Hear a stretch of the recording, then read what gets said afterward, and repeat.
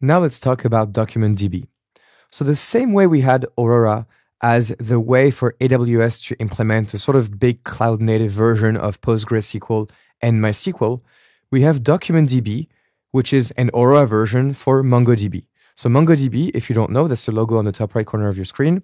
It is another NoSQL database, and you need to remember this for the exam. So DocumentDB is a NoSQL database, and it's based on top of the MongoDB uh, technology. So it's compatible with MongoDB.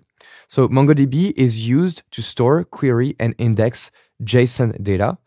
And you have the same similar deployment concept as Aurora with DocumentDB. So that means it's a fully managed database, it's highly available, data is replicated across three availability zones, and the storage will grow automatically in increments of 10 gigabytes up to 64 terabytes of storage. All of this, okay?